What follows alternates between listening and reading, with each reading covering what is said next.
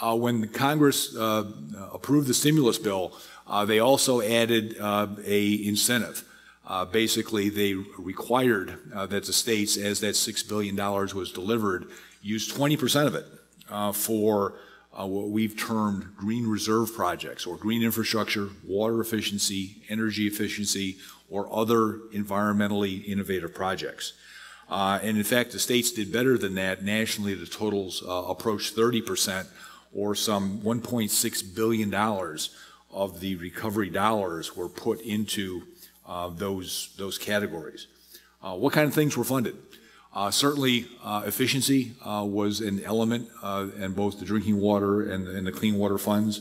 and water utilities know, to be sure, that very high on their priority list in terms of saving plant capacity, whether it's at the drinking water utility or the, the wastewater utility, is that a, a, gallon that sort of is is never needed uh, because of efficiency uh, is, is some of the cheapest capacity that they will ever ever deal with. So water efficiency uh, were projects that were funded with the Recovery Act. Also leaks uh, from a water utility standpoint. Um, if they uh, secure the water, treat the water, and, and put the water into their delivery system and it never gets to the customer uh, because of pipe leaks, that's, that's a water, a gallon of water that is uh, uh, have, has been wasted. So a fair amount of that investment from the Recovery Act also went into leak um, prevention, leak uh, correction uh, and pipe replacement on the drinking water side, and so too on the clean water side. If you have extraneous water infiltration inflow, if you will, entering uh, sewage collection systems, that only increases the cost at the wastewater treatment plant for the, the treatment of that additional hydraulic load. Um, energy efficiency, uh, more efficient pumps, more efficient motors uh, were the kind of projects that were funded uh, with the Recovery Act. Uh, in addition to, on the wastewater side, combined heat and power, basically energy generation based on the biosolids BTU value at wastewater treatment plants, an important part of the process. Um, also, in uh, uh, parts of the country like where we're at right now, and building on Mr. Freeman's comments, uh, reuse. Uh, many uh, states use the, the, recovery dollars to invest in reuse projects. it's the efficiency of sort of connecting um, high quality treated wastewater to sort of secondary uses is a growing trend.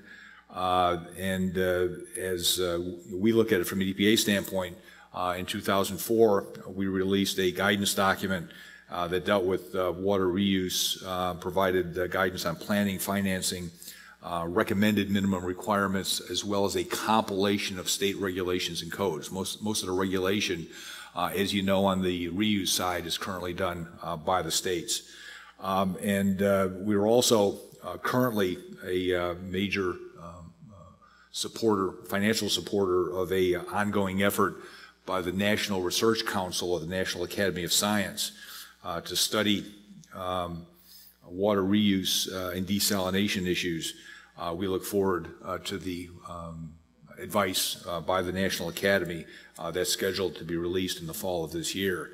And just next week, uh, we will be meeting uh, uh, in an EPA-sponsored conference um, with other federal agencies, including the Centers for Disease Control, with states, with academia, to discuss the use of uh, treated gray water uh, and environmental implications of that. So again, uh, funded with the Recovery Act, but also continuing to explore the science and public policy issues connected to reuse is very high on our priority list. Uh, not only was the uh, the incentive, as I mentioned earlier, there as part of the Recovery Act, uh, but also as Congress passed the um, the fiscal 10 budget, the year we're in right now, they continued the 20 percent um, green reserve set aside. So states are again uh, looking at those categories of water, uh, green infrastructure, water efficiency, energy efficiency uh, as an element of their capital improvement plans as they fund projects uh, for utilities uh, across the states.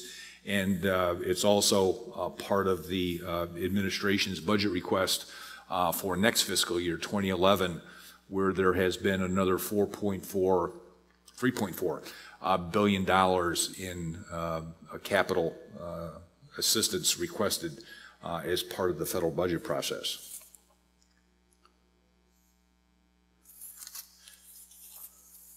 Let me turn now uh, to the WaterSense program, which is a program, as I look around the room, it's amazing to see the WaterSense signs and, and sort of um, uh, logos.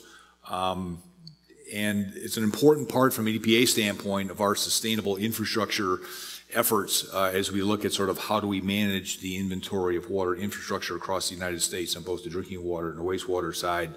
Um, the, the four elements, the four pillars we started with uh, were uh, better management, um, uh, pricing uh, that reflects the value of the service, making infrastructure decisions on a watershed basis, uh, and last but no, by no means least, water efficiency and the agency's response to the water efficiency pillar has been the WaterSense program.